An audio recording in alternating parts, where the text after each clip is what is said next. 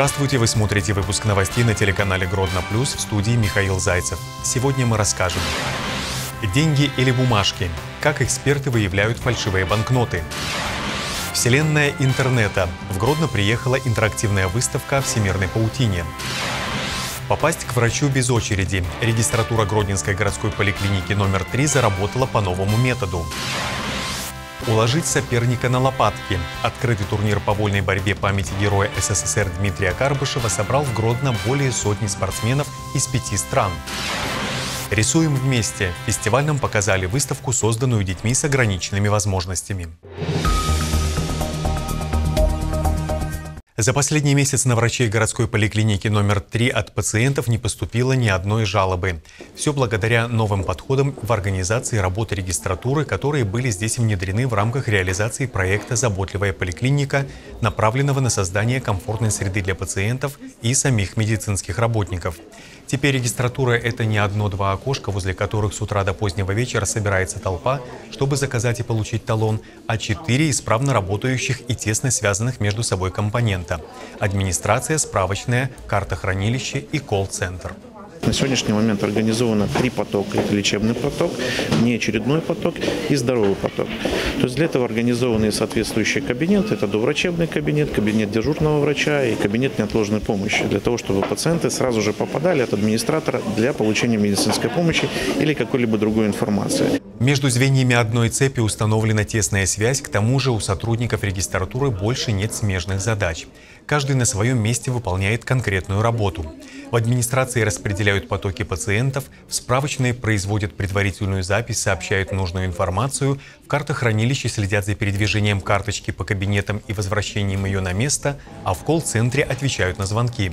В городской поликлинике номер 3 обслуживается более 50 тысяч пациентов, и некоторые из них уже успели оценить новые подходы в работе. Э, поликлиникой я пользуюсь с дня ее основания. И раньше было вроде бы хорошо, но сейчас после ремонта шикарно стало. Очень удобно брать э, талончики, всегда вежливые, всегда прекрасно, чисто, уютно. В общем, я очень довольна нашей поликлиникой сейчас. Как только у людей появились деньги, нашлись сразу и те, кто их подделывает. Специальные службы, какие только не придумывали методы обезопасить купюры от фальшивомонетчиков, те все равно находили способы обмануть доверчивого человека. Сейчас выявить ненастоящие банкноты не так уж и сложно. Можно обратить внимание на водяные номерные знаки, тактильно почувствовать не тот материал изготовления, а можно в случае необходимости провести экспертизу, чтобы узнать наверняка. Как специалисты выявляют фальшивые деньги и сколько купюр можно проверить всего за один час, на эти и другие вопросы – нашла ответы наша съемочная группа. На этих кадрах две купюры иностранной валюты. Одна из них фальшивая. Вот так с первого взгляда определить, какая из них не настоящая, нельзя. А вот если взять в руки, то вполне вероятно, что по тактильным ощущениям станет понятно. Однако не всякий человек задумается о том, что, к примеру, в магазине ему выдали фальшивку. Антон Гоненко – старший эксперт. С денежными банкнотами работает три года. Конечно, при начальном осмотре может определить, что есть что, но все-таки привык перестраховываться. Ультрафиолет, лупы, микроскопы, его помощники. За один час опытный эксперт может проверить больше тысячи купюр.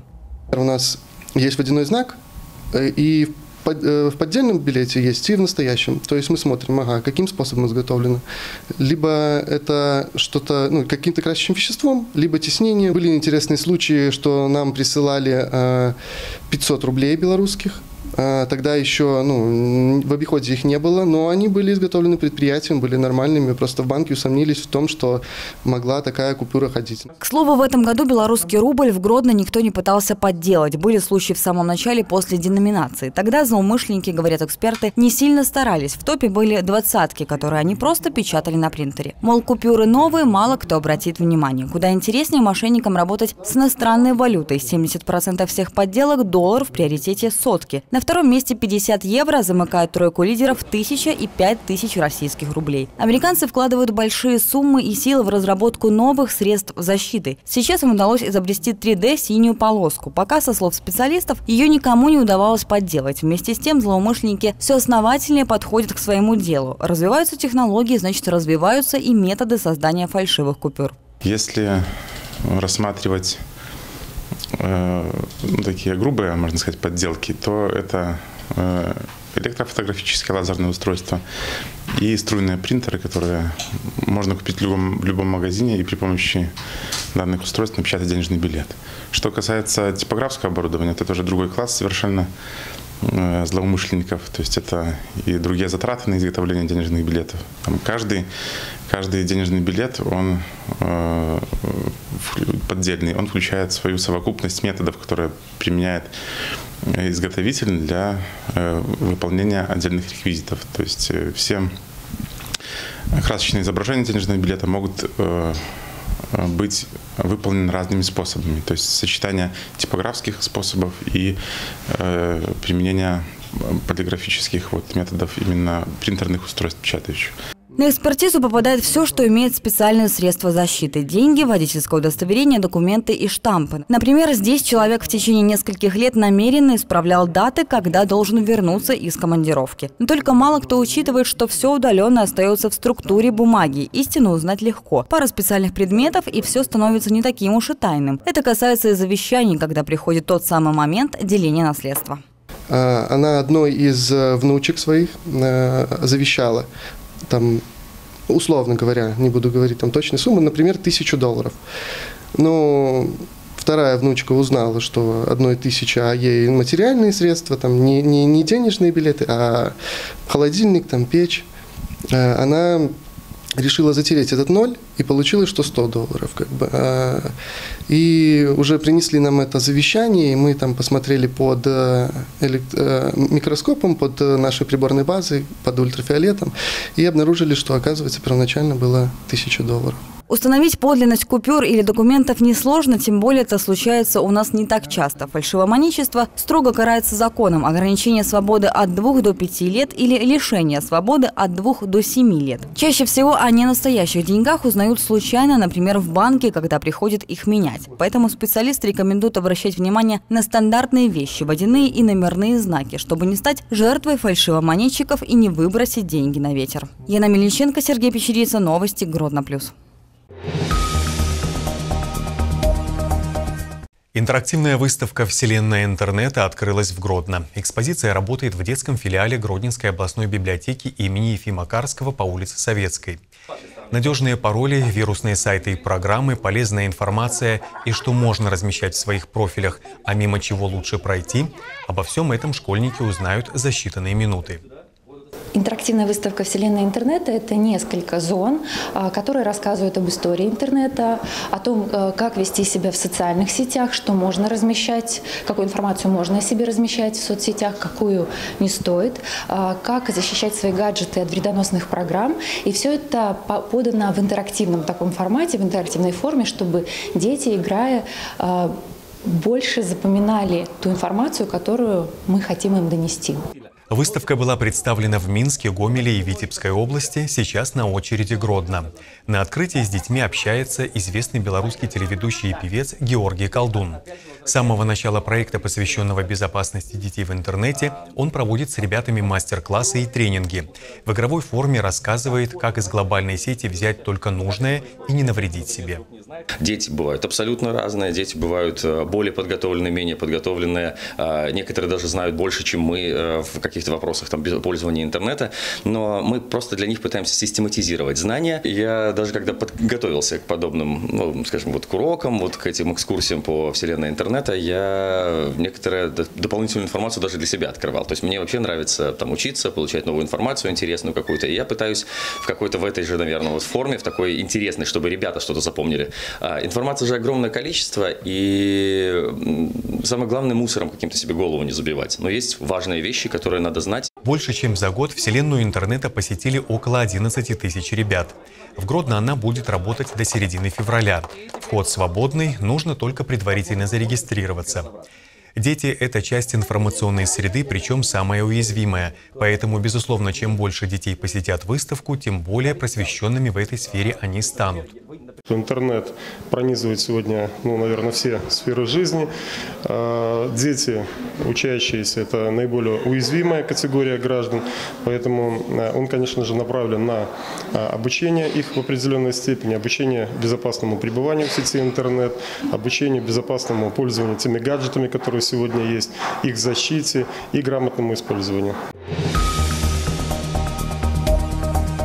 Открытый турнир по вольной борьбе памяти Героя Советского Союза генерала Дмитрия Карбышева прошел в Гродно. На ковер зала борьбы по улице Врублевского вышло более сотни спортсменов из пяти стран. Сражались за первенство как новички, так и настоящие звезды из Украины, Польши, Литвы, Латвии и Беларуси. Немало борцов на турнире представила город Гродно. Подробности в репортаже Аллы Внучко. Гродненский борец Даниил Амельянчик перед открытым турниром по вольной борьбе тренировал свою силу по максимуму. Впервые он вышел на ковер в 7 лет. В 17 завоевал бронзовую медаль на континентальном первенстве по вольной борьбе среди кадетов в Сараево. Юный спортсмен не сомневается, это только начало. Впереди его непременно ждут и новые вершины. Из достижений, наверное, самое значимое – это э, призер Европы по кадетам в 2017 году. Трудно, но все впереди. Я мечтаю, что достигну своих целей. И результат, чтобы был Европа, мир, Олимпиада. Ну, упорство и труд. Надеюсь, все будет. Турнир по вольной борьбе памяти Героя Советского Союза Дмитрия Карбышева проходит в Гродно уже в 52 раз. Основная задача соревнований – подготовить ближайший резерв национальной сборной страны. Условия для этого на данном первенстве созданы просто идеальные. Сильные соперники, серьезное судейство. Мы сейчас планируем национальную команду на следующий год. Соответственно, все молодые ребята, которые хотят заявить о себе в будущем, должны отбороться эти соревнования. Тем более, что согласно норм Министерства спорта за победу и за серебряную медаль в этих соревнованиях присвоивается звание мастера спорта Республики Беларусь. Девушек среди борцов более чем три раза меньше, но каждая из них по силе духа и воли к победе ничуть не уступает парням. У каждой из участниц турнира свои спортивные достижения и планы на будущее. Заслуженный тренер Республики Беларусь Леонтий Фурса, который является родоначальником спортивной борьбы на Гродненщине, званый гость турнира. Он, как всегда, внимательно следит за ходом каждой схватки, оценивает приемы, проводимые спортсменами, и уже давно пришел к собственному выводу. Женщина на борцовском ковре – это не только эмоционально, но и действительно серьезно. Я вот э, сколько лет уже наблюдаю так, они даже более такие азартные и по характеру, если сказать, более злые даже в борьбе. Они проявляют себя, когда они вот это э, женский пол нежный, но в борьбе они проявляют агрессивность, это вот бывает. И даже, может быть, э, у них характер злее, чем у мужчин на соревнованиях. Мы это наблюдаем как-то, вот эти моменты. У каждого участника открытого турнира, независимо от пола, уровня подготовки и страны проживания, была возможность проявить себя, почувствовать радость победы, закалить силу воли. Участие в открытом турнире – это еще и отличная подготовка к чемпионату Беларуси по вольной борьбе, который стартует в январе 2020 года. Алла Нычко, Виталий Рубанов, Новости, Гродно Плюс.